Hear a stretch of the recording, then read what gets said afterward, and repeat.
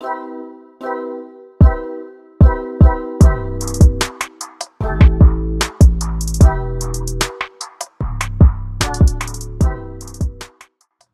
back! Today we're making this really cute parrot wall hanging.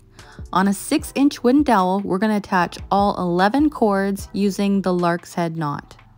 To make a lark's head knot, fold your cord in half, then place the loop end behind your wooden dowel, then take the long tail ends and place it through the loop and pull taut.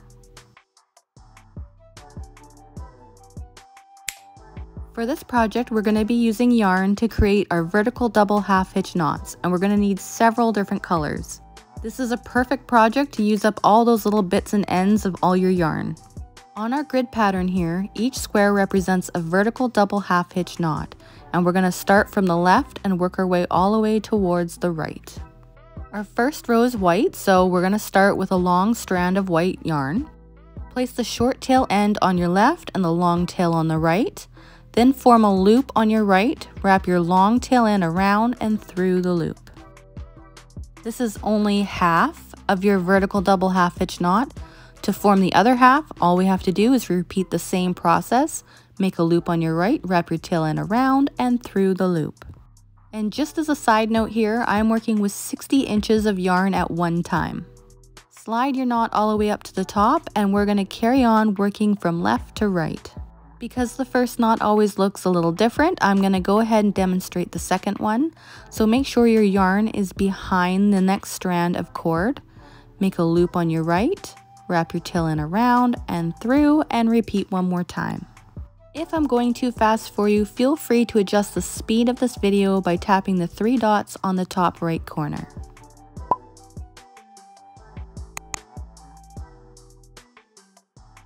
Now that we completed our first row, we're going to go ahead with the second and we need to go back in the opposite direction. Working with the same strand of yarn that we worked in the previous row, we're going to take it and we're going to bring it behind our cord and this time we're going to make a loop on our left, wrap her tail end around and through the loop. So essentially it's the exact same thing as the first row only backwards. If you ever get confused or lost, just remember that your yarn and your loop will always be on the same side of the direction that you're going. So jumping ahead, as you can see, I completed the first two and a half rows. And now we need to switch colors. To switch colors, all you have to do is grab another strand of yarn and we're going to attach it just the same as we did at the very start of this project.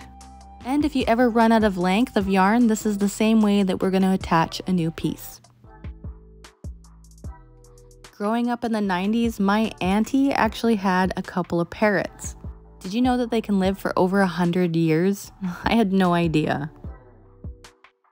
Anyways, carrying on, we need to switch back to the white. So to do this, all you have to do is lift up all your filler cords here, take your previous white strand of yarn and what we're gonna do is we're gonna run it behind our work. So as you run it behind, make sure that when you place your filler cords back down, that it's all flat and even, and do not pull your yarn too taut, otherwise your work will pucker. Place your yarn over top of your red, and then carry on tying your vertical double half hitch knots just the same as before. So I'm going to go ahead and work our way down our grid pattern and each row we complete, I'm going to highlight it so that we don't forget our place.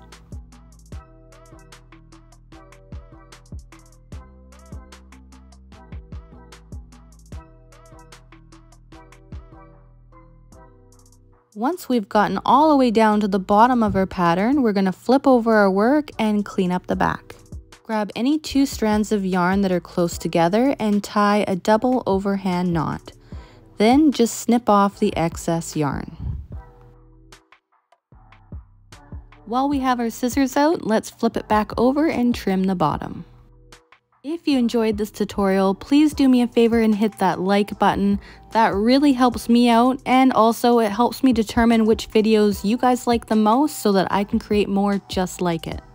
If you're interested in how to professionally finish off the back of your wall hanging, click the video on the screen now and it'll show you how to do just that, plus how to sign your work. And I'll see you over there.